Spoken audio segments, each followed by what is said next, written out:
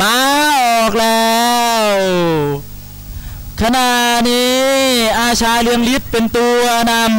ำขณะนี้อาชาเรืองฤทธิ์เป็นตัวนำทองจตุรเทพตัวที่สองแก้วมงคลตัวที่สามทรัพย์ชนะชัยตัวที่สี่โชคดีครับตัวที่ห้าที่โค้งปลายเก้า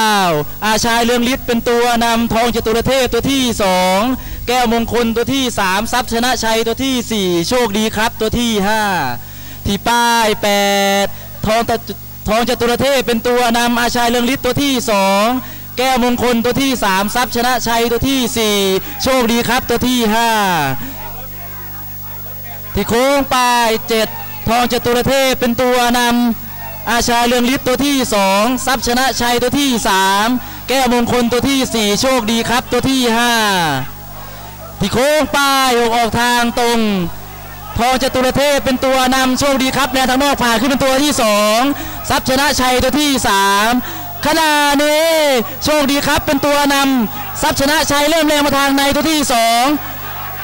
ขณะนี้ทรัพย์ชนะชัยแรงทางนอกผ่านขึ้นเป็นตัวนำโชคดีครับตัวที่สองคุณปองชัยตัวที่สามขณะนี้ดุมอบตเลยทางนอกผ่านขึ้นเป็นตัวน